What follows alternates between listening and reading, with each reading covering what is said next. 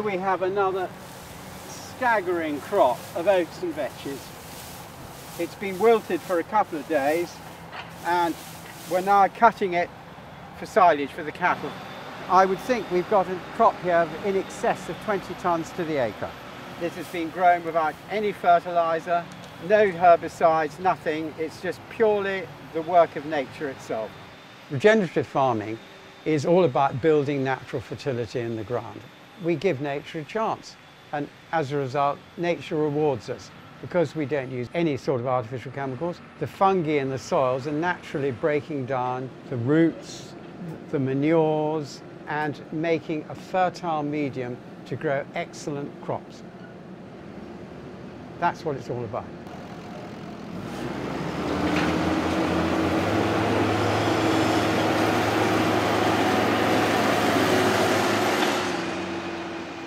All farms have to reduce their carbon footprint and this is a very effective way of doing it because we're locking up a lot of carbon in the ground.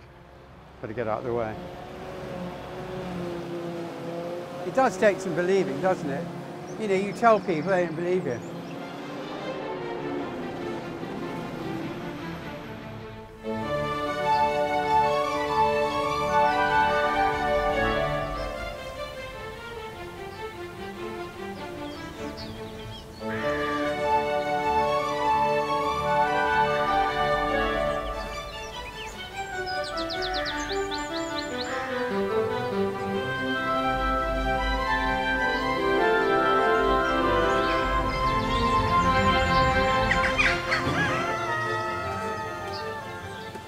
My name's Henry Edmunds. I've lived at Cholderton all my life and I started farming here 45 years ago when my father died. The farm here is about a thousand hectares. Some is farmed by my wife who has the beef suckler herd and uh, she also rears dairy heifers and the rest of it is uh, about 400 acres of arable, barley and oats uh, we don't grow any wheat. And otherwise, about a thousand acres of grassland. And of course, the whole process revolves around a livestock enterprise. So we have dairy cows, beef cattle, and sheep. Here we are, woolly fields. I'll do it again. So they graze these pastures, they put manure on them, and the net result is that we're making the land more and more fertile and more and more productive. Over the years, I have struggled to find a system that worked for us. We've got very thin chalk soils and I soon discovered that if you try to take crop after crop, the soil became really poor and in fact we got really bad results. I remember coming back from college and I thought I'd been taught everything, so I knew that if you had a sterile field, you put 300 weight of ammonium nitrate on and 200 weight of compound fertilizer, and you would get two tons of barley to the acre, as simple as that. Well, I tried that, and uh, in the first year, I achieved a yield of 1200 weight to the acre, which was a complete disaster. So I realized things had to change. So I then started using long-term pastures. And by doing this, I was able to build the fertility. So now, today, extraordinarily, we can achieve a crop of two tonnes to the acre with very little difficulty without the use of any fertiliser whatsoever. Here we've got a crop of rye. And that's only because I've looked after the soils by using animal manures and long-term pasture. This is winter rye. See, it's looking fantastic. This was sown in last October. You can see the height of the crop from here. This follows a crop of oats and vetches. That has obviously put nutrients into the ground. We have given this a dressing of, of compost. We've then ploughed it, drilled the rye, shut the gate, that's it. This will all go for milling specialist market. This is the final crop in the rotation and this will then be put down into the long-term pasture which will then continue to build the fertility and then in however many years it is we will plough that and carry on with the arable cycle.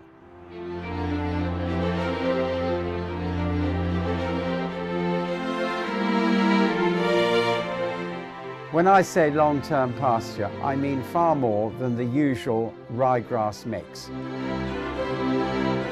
I carried on using fertilizers until about 24 years ago. At that point, I started incorporating long-term grass mixtures into my rotations and basically built upon that, I used more legumes. Now, th this is a crop of uh, common sainfoin. This has been grown here since 1730 and it's superbly adapted to growing on these light chalk soils. The sainfoin is leguminous, so it's taking nitrogen out of the atmosphere, nitrogen gas, and converting it into nitrate, which is dissipated into the soil, but then it is taken up by the companion grasses.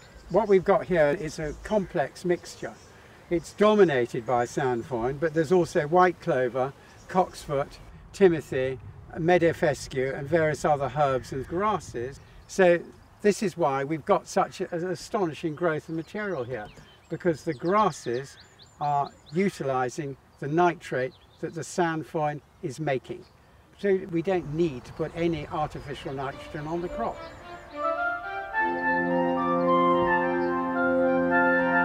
In terms of cattle and sheep feed, you've got really high quality feed here. Lambs, for example, grow faster on sainfoin than any other forage crop that can be grown in this country. And later on in the season, after we've taken this for hay, it'll provide very diversified grazing for the animals. And in the meantime, providing lots of nectar for our local bee colonies recently some work's been done on sainfoin at London University and they've discovered that the flowers are very rich in caffeine and caffeine protects the bees against the diseases that they're very prone to today. So I, this is of major importance for the future of honeybees throughout the country. More sainfoin would help protect our bees.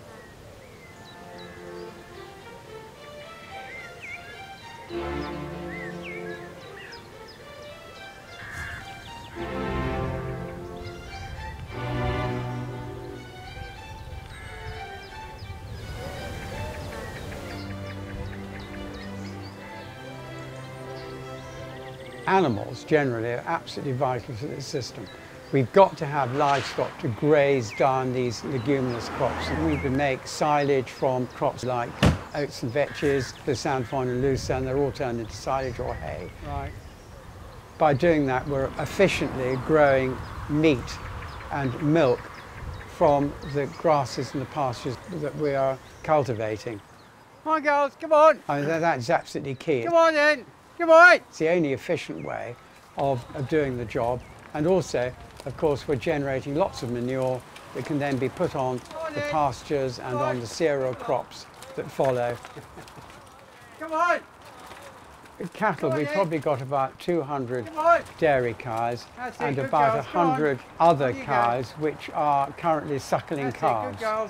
When the dairy cow has a calf, we rear the calf.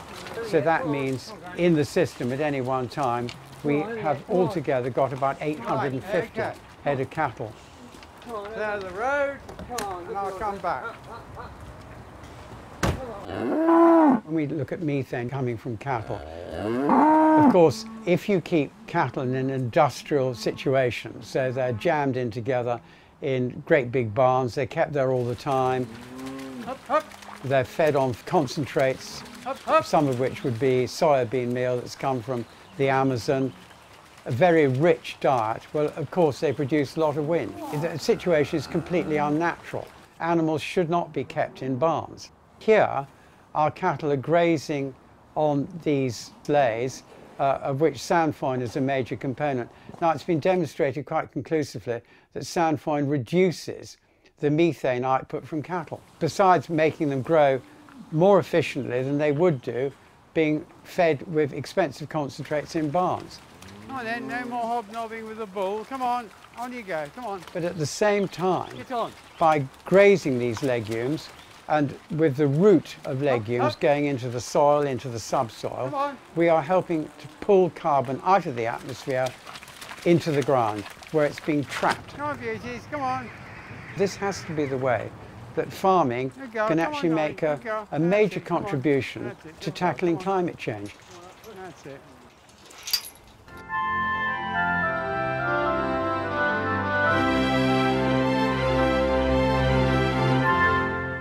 It's benefits like this that the DEFRA test and trial has been set up to investigate. Yeah, it's a lovely evening out. Some rain, lovely swallows working across the crop. I just watching. love to see the swallows. Henry obviously is very well known in the area, and I was asked when this DEFRA test trial was being put together, we wanted to come out and see what Henry was doing because his fame had gone before him.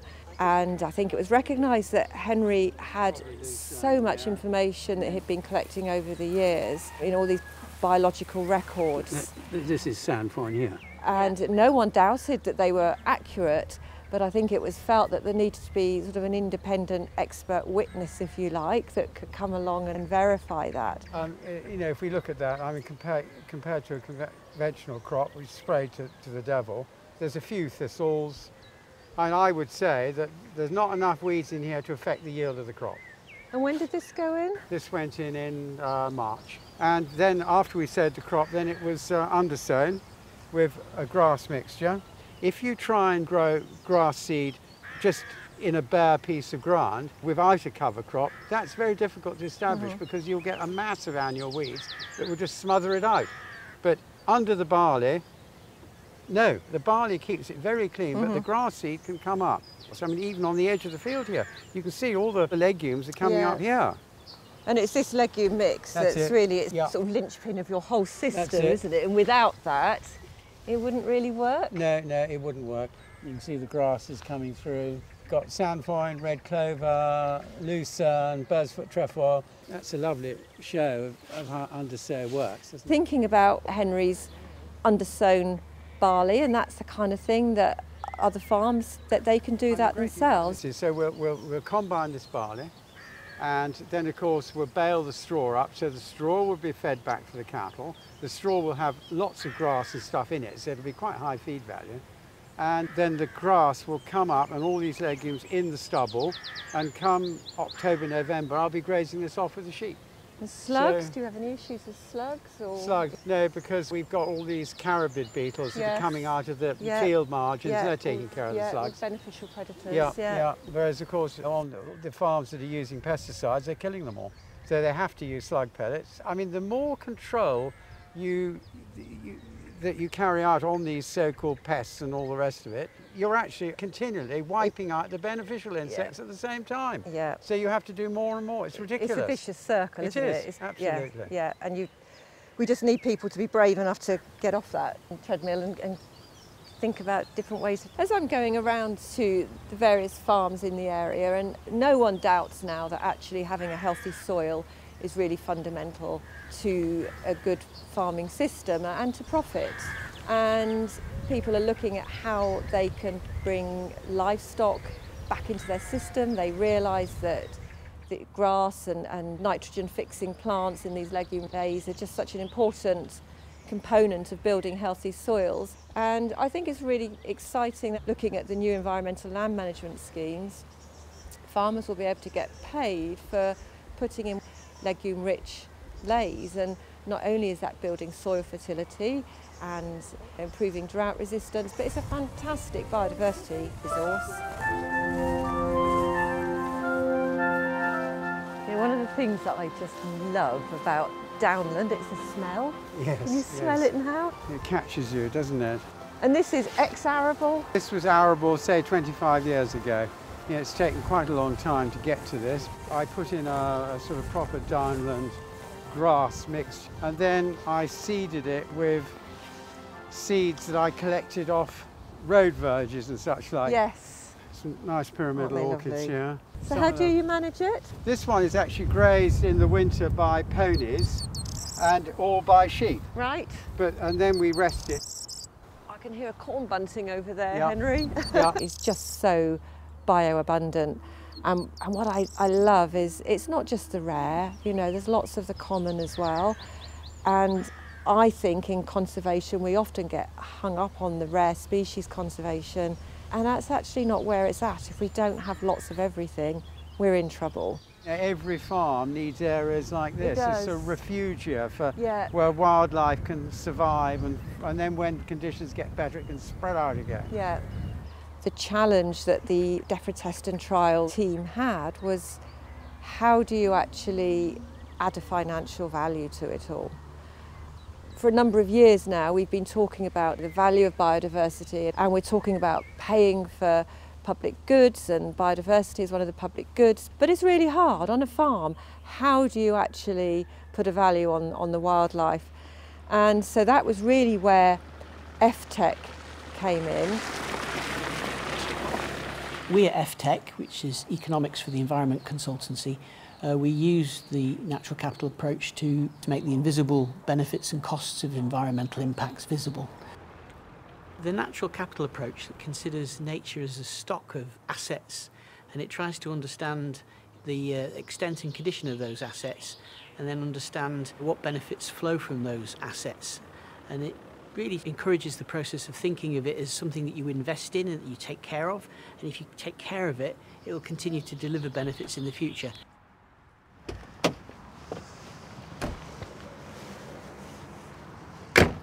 So this particular project has been trying to work out what the economic value of those benefits have been at Cholderton.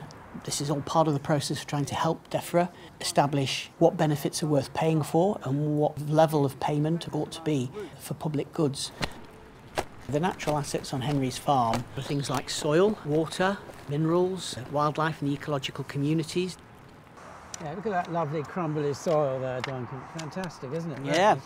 You think it's all just grade four land, but look at that. Beautiful. It's very crumbly. Masses of roots that will turn into organic matter in the soil over time. And it's a lot richer than the norm. Yeah, it is. And I mean, you can see this is a living soil and we could literally grow any crop we wanted in it. The biggest benefits that we could evaluate here were things like uh, biodiversity, which is truly outstanding. There's the woodland carbon sequestration, there's hedgerow sequestration, and there's carbon sequestration in soils. And so, how much soil organic matter do you reckon there is in there? Henry? Well, currently it's about 12%.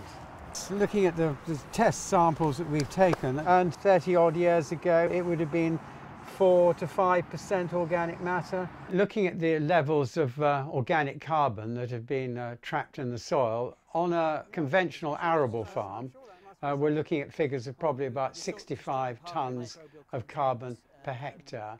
Now here, on an average of several different fields, we were sequestering 140 tonnes per hectare. So it just shows that uh, this system is very effective at building up organic carbon in the soil and hence sequestering carbon dioxide from the atmosphere.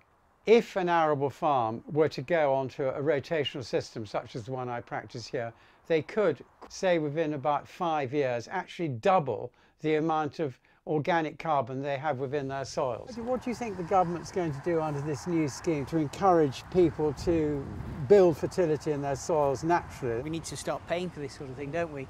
And uh, of course, uh, everybody's sharpening their calculators on what they think that's going to be worth. Yeah. Sequestering carbon in soils is a great opportunity. The government's got guidance on what they think the value of carbon storage is to meet carbon targets, and they're revising it, and it's only going to go one way. It's likely to go up. But at the moment, 1% of the soil organic matter would probably equate to around one and a half tonnes of carbon dioxide sequestered per hectare per year. So that's going to be what? Anywhere between 100 and 200 pounds per hectare per year. So it's a large sum of money just in the carbon mm-hmm. sequestration benefits alone, let alone all the other benefits that go with increased fertility and resilience as well.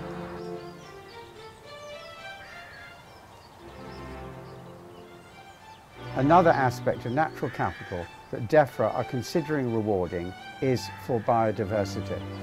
Biodiversity is a really big challenge because uh, the, the biodiversity here at Cholderton is so unique. Oh good, here's a, here's a green hairstreak. I mean, over 40 species of different butterfly have been measured here, and 740 species of moth, and it's difficult to put uh, a value on something quite that unique. But we can say if you wanted to recreate something similar to this in another location, it would cost at least 100 million if you tried to use something like the DEFRA biodiversity net gain system. So 100 million is a huge value for the biodiversity of this particular farm alone. And that just seems absolutely huge. And you think, well, how, how, how can it actually come to that? But then actually when you think about all the things that that biodiversity is, is doing, you know, it's producing food. Carbon sequestration. It's helping to provide clean air, clean water. Recreation that the public enjoy through walking over the land. It just all begins to stack up and when you start to value all of those different aspects of what the biodiversity and Henry's system is delivering, then you think, well, actually, maybe, maybe that's not that much, really, for what it's delivering.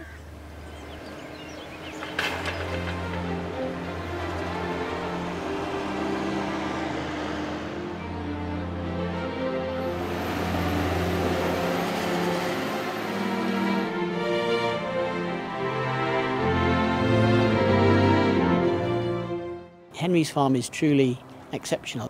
What he's shown is that it's possible to use natural means to build the resilience of your soils and take care of them. I, I feel very strongly uh, that, that uh, th this is the right way forward and a lot of the reason is because I believe that we shouldn't trash nature. I like to see wildlife everywhere and I, I know that under a mixed farming system like this, nature flourishes. Actually looking after nature costs and so that's why I think this test and trial has been really important in getting the ball rolling. Farming itself doesn't make much money, but Henry's producing all of these other benefits for free. And, and hopefully, out of this, we'll be able to develop something that can be applied across farms because it's going to become increasingly important. Um, you know, whether farms are really looking at making a, you know, the, the big level of change that Henry's made here or whether they're looking at perhaps some of their more marginal land and how that could be used differently. I think this is where just being able to, to value nature is so important. I think a lot of farms do want to do the right thing, but it's difficult making ends meet. And so we need to create a new system that actually incentivises farmers to do the right things. And I mean, Henry's approach for doing it naturally proves it can be done. Climate change is a topic that is on everyone's lips.